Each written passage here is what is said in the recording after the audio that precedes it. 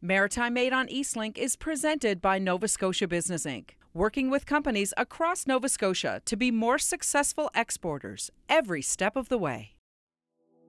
Tatamagouche Ice Creamery has been serving up artisanal small batches of ultra premium ice cream in its namesake town in Nova Scotia for two years. Tatamagouche Ice Creamery is all about uh, ultra premium ice cream. We're, we're all about uh, a luxurious, decadent experience. Uh, what makes ice cream premium comes down to a couple factors. Uh, the first being the butterfat content. Uh, to be considered ice cream legally, uh, everything ha- ice cream has to have 10% butterfat uh, by law. Most commercial brands would be in that 10 to 12% range. Um, some premium ice creams might be 14. Tatamagouche Ice Creamery, we use 18% cream in our in our ice cream. The second thing is air content, or what we call overrun. So all ice cream has to have air whipped into it, otherwise it'd just be a, a frozen block of ice. Uh, but they're going to be vastly different amounts. And so a commercial brand at a grocery store uh, might have as high as 100 or 120 overrun, which means that half of that tub or up to even 60% of that tub that you're buying is actually air and as little as 40% is ice cream. Uh, with our uh, ice cream, we have a 40% overrun, meaning only 20% of our, our tub is, is uh, air and the rest is ice cream. Today, we're at the company's production facility in Bible Hill. They're making their basic white base. It's used to make most of their ice creams. The owner, Daniel Curran, begins to gather ingredients to make 40 liters of base. He measures refined white sugar and dehydrated skim milk out by the kilograms. Natural stabilizers are added, including guar gum, lambda carrageenan, and locust bean gum. These are very powerful, only a bit is needed. Finally, pasteurized frozen eggs are measured out by the kilogram. Daniel's father Gordon is assisting him. Now the vat pasteurizer, which was washed already, is sanitized again. The beater and drive shaft are put in place. The whole vat is encased in a heated element and has a pump keeping things flowing. A drain spout is assembled. This needs to be attached to make sure nothing pours out until a lever is turned. A spoonful of Sterasheen, a dairy sanitizer, is added to a large bucket of water. The chlorine levels are tested, ensuring at least 100 parts per million. This is poured into the pasteurizer four times. The lid is closed and the machine is run for 30 seconds and then left to sit for 10 minutes with the sanitizer. The sanitizer is then flushed into storage buckets to be reused. Three 10 liter bags of Saputo 18% coffee cream are sanitized. After ensuring the valve is closed, each bag is cut open. Daniel uses a spatula to add the frozen egg yolks. The lid is closed again and the vat is turned on. The temperature starts at 6 degrees Celsius and will increase to 40 degrees. Then the dry ingredients are added. The machine churns the base as it cooks and pasteurizes.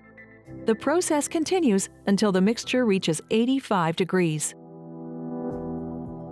Next, the vat pasteurizer begins to cool, bringing the temperature down to 5 degrees Celsius over 20 minutes. The ice cream is left to age overnight. Always loved ice cream as a kid growing up.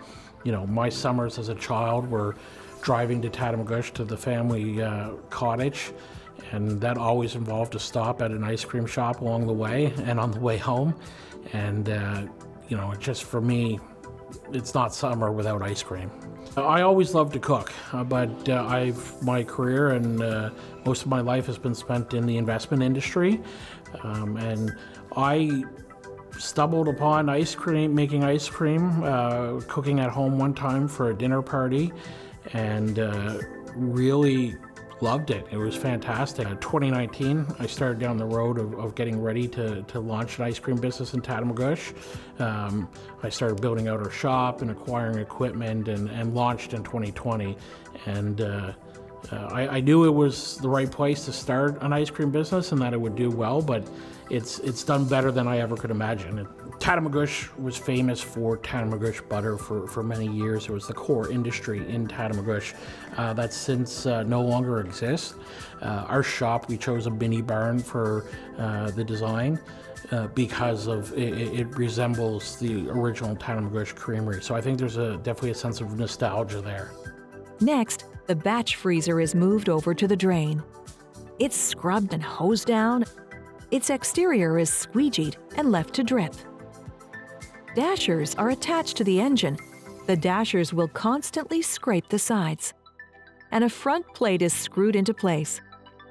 More dairy sanitizer is made and poured into the machine, sanitizing everything on the inside. This leaks a bit as the machine is not at a cold temperature yet. It's poured out once a cycle is complete. Once the machine is moved back, a 4 liter eggnog ice cream base is brought out of a 5 degree fridge. This is similar to the white base we made, but it has more eggs and nutmeg. The batch freezer's max capacity is 6 liters. A cellophane plastic barrier under the container's lid is removed. The batch freezer's gate is shut and this is poured in. Then 30 grams of bourbon is added. Flavors like this are added at this stage to protect them from the previous heating process.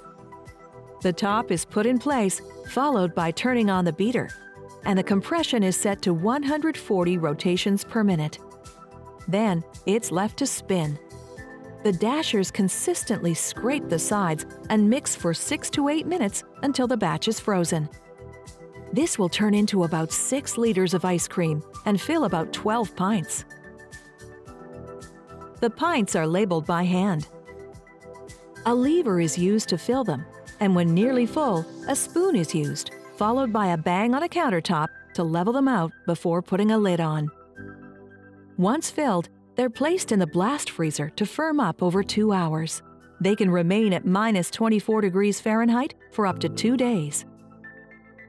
We've been fortunate to have an incredible staff who have helped us uh, at our scoop shop as well as here in production. Uh, the production staff is my parents who have been great volunteers, and without them, I, I couldn't have uh, got to where I am today. Uh, at our scoop shop, we hired a, uh, a small group of high school age uh, students who have done a phenomenal job. Uh, they've really taken ownership with that and, and run with it. And um, despite being young uh, young adults, uh, and some of them their first job, they're often giving me great ideas for, for how to, to to run things or new flavors. And um, I think that's been one of the keys of our success. That uh, you know, young people in the province may not have a lot of experience, but that doesn't mean they don't have something to contribute and they can be a, a really valuable part of the team.